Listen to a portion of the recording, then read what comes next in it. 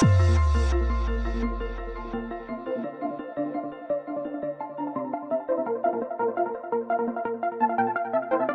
జీవితంలో బ్లైండ్గా ప్రతి ఒక్కరూ తప్పనిసరిగా తీసుకోవాల్సిన ఒక మంచి నిర్ణయం ఏంటంటే దేవుని అందు మాత్రమే నమ్మిక ఉంచుట. నేను ఎవరిని నమ్మను నేను ఎవరి మీద నమ్మకం ఉంచను నా దేవుని మీద మాత్రమే నేను నమ్మిక ఉంచుతాను అన్నటువంటి క్రైస్తవులు ఈ రోజుల్లో కావాలి. ఎందుకంటే ప్రతిరోజు కూడా మనలో నమ్మకాన్ని దొంగిలించడానికి అపవాది అనేకమైన పరిస్థితుల్ని మీ ముందుకు తీసుకొని వస్తాడు.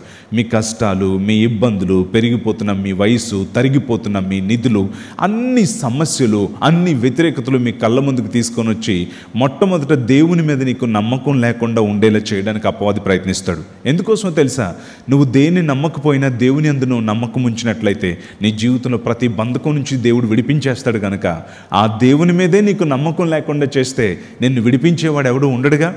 అందుకోసమనే సాతాన్ ఏం చేస్తాడంటే నీ చుట్టూ ఉండే పరిస్థితుల్ని నీ ఒంటరితనాన్ని నీ కష్టాల్ని నీ యొక్క వ్యతిరేకతల్ని నీ ఓటముల్ని అన్నింటినీ నీకు చూపించి నీకు దేవుని మీద నమ్మకం ఉంచలేని పరిస్థితుల్లోనికి నేను తీసుకొని వచ్చేస్తాడు.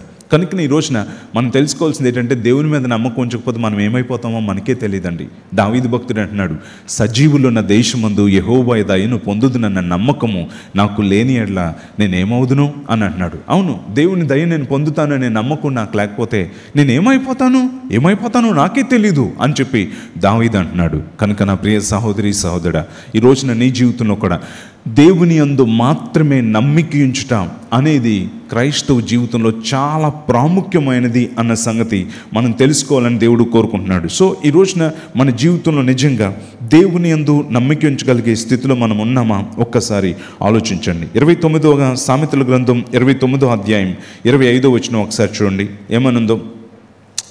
సామెతల గ్రంథం ఇరవై తొమ్మిదో అధ్యాయం ఇరవై ఐదో వచ్చిన రెండో భాగం Proverbs chapter twenty nine verse twenty five భయపడుట వలన మనుషులకు ఉరి వచ్చును యహోవాయందు నమ్మికయుంచువాడు సురక్షితముగా నుండును. చూసారా? The fear of man brings is near but who ever puts his trust in the lord shall be safe చూడండి ఏమనుందో యహోవాయందు నమ్మికయించువాడు సురక్షితముగా నుండును. అందరూ చెప్దామండి.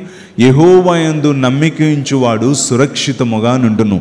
ఇంతకంటే గొప్ప మాట ఇంకేంటి ఆలోచించాను మనం సురక్షితంగా ఉండడానికి మనకి కావాల్సింది దేవుని యందు నమ్మికయించుట అనే సంగతి మనం తెలుసుకోవాలి. ఇరవై ఎనిమిదో కీర్తన ఏడో వచనంలో ఏమని అంటున్నాడో ఒక్కసారి చూడండి కీర్తనకారుడు. Psalm twenty eight verse one ఇరవై ఎనిమిదో కీర్తన ఏడు వచనం వర్స్ సెవెన్ ఇరవై ఎనిమిదో కీర్తన ఏడవ వచనం. ఏమనుంది? యహోవా నా ఆశ్రయము నా కేడము నా హృదయము ఆయన యందు నమ్మిక ఉంచెను గనుక నాకు సహాయము కలిగను. చూసారా ఏమని అంటున్నాడో నా హృదయము ఆయన యందు నమ్మిక ఉంచెను గనుక నాకు సహాయం కలిగను అంతేనండి.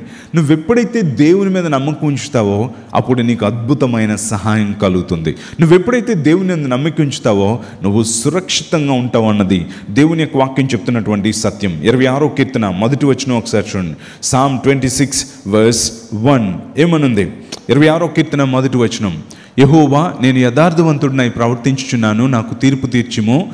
ఏమీయూ సందేహపడకుండా యహోవయందు నేను నమ్మిక ఉంచి ఉన్నాను. హాలెలూయా ఏమీయూ సందేహపడకుండా నేను యహోవయందు నమ్మికించి ఉన్నాను. ఇది దావీదు భక్తుడు గొల్యాత్ వచ్చినప్పుడు కానీ సింహం వచ్చినప్పుడు కానీ సౌలు తరుముతున్నప్పుడు కానీ అనేకసార్లు జీవితంలో పోరాటాలు వచ్చినప్పుడు కానీ విజయాన్ని సాధించడానికి గల కారణం ఏంటంటే ఏమాత్రము సందేహింపకుండా నేను దేవుని యందు నమ్మికించి ఉన్నాను. ఈ రోజున మన జీవితంలో అటువంటి నమ్మిక ఉందా? అందుకనే నువ్వు ఎటువంటి వార్త వార్తలు వింటున్నా నువ్వు దేవుని మీద నమ్మకం ఉంచడం అనేది నువ్వు నేర్చుకోవాలి.